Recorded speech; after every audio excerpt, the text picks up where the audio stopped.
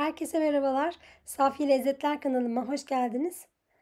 Tarifimiz için öncelikle kuru malzemeleri bir tencerenin içine alıyorum ve çırpıcıyla güzelce karıştırıyorum. Bu aşamada bunu yapmamız çok önemli çünkü sütlü tatlılarda topaklanma olmaması için bu şekilde önceden hepsini harmanlamak, homojen olarak karıştırmamak çok çok mühim. Ardından sütümü ilave ediyorum. Ben bugün bu tarifi iki ölçü hazırladım. Büyük miktarda yaptım. Fakat e, videonun altındaki açıklama kısmına sizler için bir ölçü yani 1 litrelik sütten yapabileceğiniz tarifi ekleyeceğim. Sizi gerçekten üzmeyen e, hiçbir şekilde e, yani çok çok tadına ve kıvamına güvendiğim bir tariftir. Mutlaka tarifimi denemenizi tavsiye ediyorum. Şimdiye kadar zaten çok kişiden güzel geri dönüş aldım denedikleri ve beğendiklerine dair.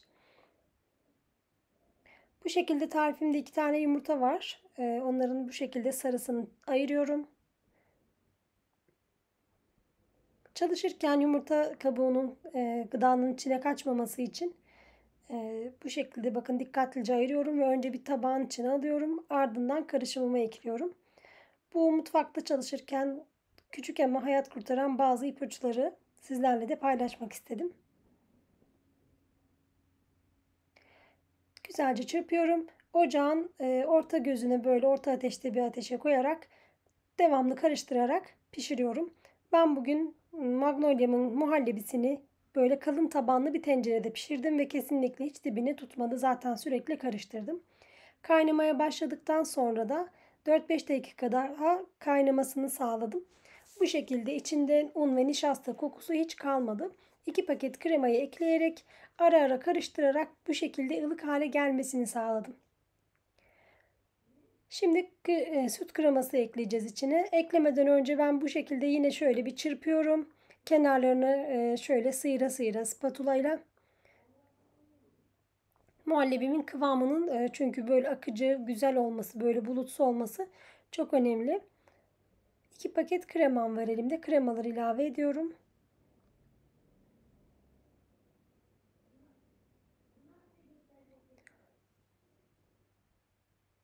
Krema ilave ettikten sonra yine mikserle çırpıyorum. Ee, bir yandan da elimde spatula ile kenarlarını şöyle güzelce sıyırıyorum ki her tarafına krema eşit olarak dağılsın istiyorum. Bakınız muhallebimin son hali bu. Gerçekten çok çok lezzetli oldu. Kupta servis etmek için bu ölçü gerçekten çok ideal. Bu e, katı malzeme yani un ve nişasta ölçüleri çok çok ideal. Kesinlikle üzerine ekleme yapmayın. Tam tarife göre yaparsanız bu, bu kıvamda çok lezzetli bir magnolia kremanız olacaktır.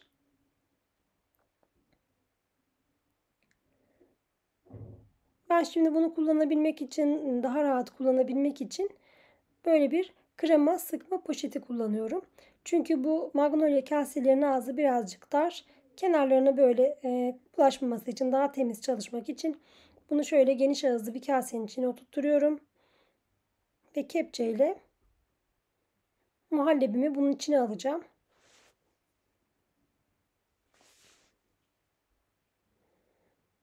Bu şekilde çalışmanızı tavsiye ederim.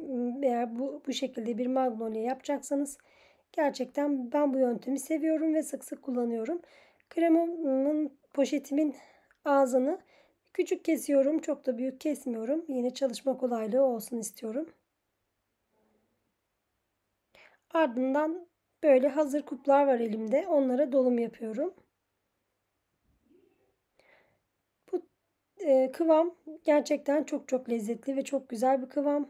Zaten muhallebinin tarifi çok çok lezzetli oluyor. Kıvamda katı malzemeler fazla olmadığı için oldukça ideal oluyor. Şöyle bir kaşıkla yüzeyini hafif düzlüyorum. Çünkü üzerine bisküvi dökeceğim için dümdüz olmasını istiyorum.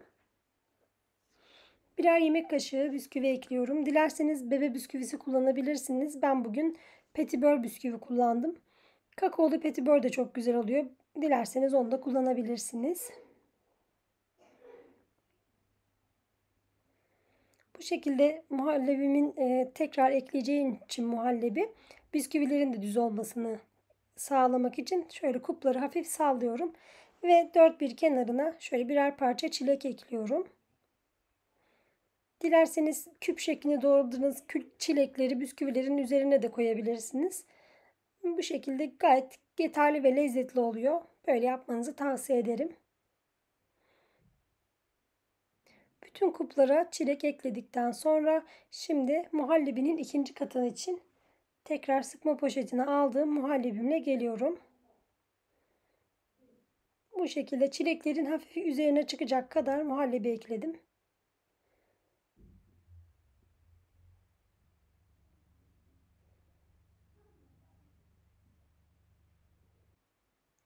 Bu şekilde ikinci kat muhallebimi sıktıktan sonra yine kaşıkla biraz düzeltip üzerine ikinci kat bisküvi kırıklarını ilave ediyorum.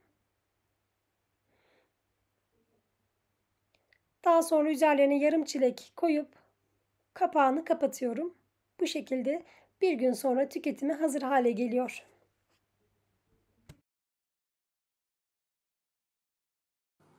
Magnolyalarımı bu şekilde kapağını kapatıp dün gece buzdolabına koymuştum. Bir gece dinlendiler. Dinlendikçe kıvamı ve lezzeti çok güzel oluyor. Ben bu şekilde bir tane de e, bardağı hazırladım. Böyle kuplarda çok güzel oluyor servisi. Şimdi bunun bir tanesi sizin için kıvamını göstereceğim. Bakın kıvamında kesinlikle bir katılaşma, bir sertleşme olmuyor. Çok güzel bir kıvamda. Tarife ait tüm detayları, püf noktalarının hepsini e, bu videonun altındaki açıklama kısmına ekleyeceğim. Oradan bakabilirsiniz. Yepyeni tariflerde görüşmek dileğiyle. Hepiniz hoşçakalın.